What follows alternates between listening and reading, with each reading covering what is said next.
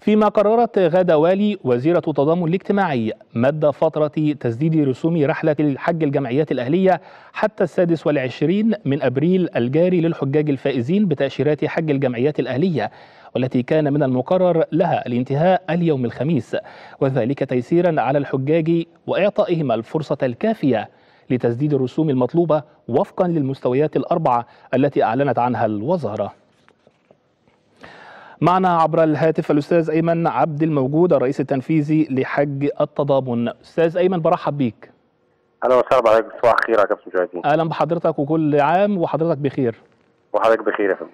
بنتكلم عن مد فترة السداد حتى يوم السادس والعشرين من أبريل الجاري. نتكلم عن التفاصيل والإجراءات الميسرة الموجودة من حضراتكم.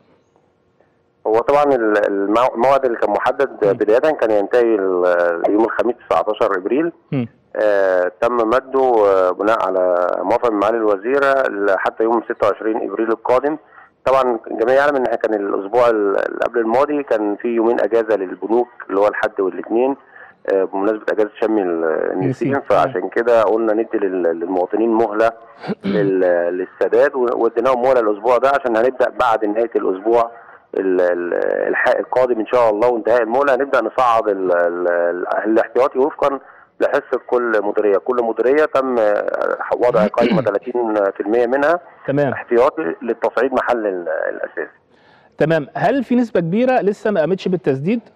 لا اولا كنا بنتكلم يعني إحنا بنتكلم إن يعني النسبة تقترب من آه، اليوم من 90% مسددين من المواطنين ودي. نسبة يعني كويسة جدا في المهله بنتكلم في, في حوالي آه، سبع أيام عمل في البنوك فدي مدة كويسة جدا يعني للسداد وكده فإحنا قلنا مهلة للناس لأن في بعض الناس كان يعني فلوسها في الودائع في بعضهم آه لسه ما ما اتصرفش في في الكامل الاشتراك الخاص برحلة الحج.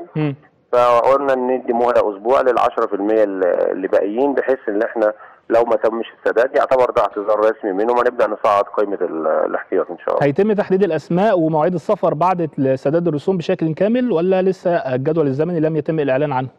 لا هو طبعا ال- التفاصيل ال- ال- برنامج السفر بتبقى بالتنسيق مع شركة مصر للطيران تمام آه لأن إنما مقرر ليه إن شاء الله هيبقى مع بداية شهر أغسطس ال- القادم بداية تمام. سفر أول أفواج الحج إن شاء الله. لو لا قدر الله حد ما قدرش يسدد الرسوم المطلوبة آه، في احتياطي موجود أو في قائمة احتياطية موجودة قد إيه؟ آه طبعا إحنا ان القرعه لما تم اجراءها. وضعت 30% من إجمالي الحصة في كل محافظة احتياطي مترتب بحيث إن بنصعد اللي عليه الدور مباشرة تمام. محل المعتذر أو المستبعد بأي سبب من الأسباب. يعني ال 30% ده آه، قائمة مترتبة مش هيكون في اختيار عشوائي؟ لا لا قائمه تمام. مترتبة لأن إحنا ال- ال- المسلسلة داخل كل إدارة لأن إحنا بنلتزم إن إحنا بناخد لو اعتذار في اعتذار في محافظة لازم ناخد من نفس. المحافظة ومن نفس الإدارة اللي المواطن اعتذر عن الاجابه تمام. الأستاذ أيمن عبد الموجود الرئيس التنفيذي لحج التضامن. بشكر حضرتك. شكرا جزيلا.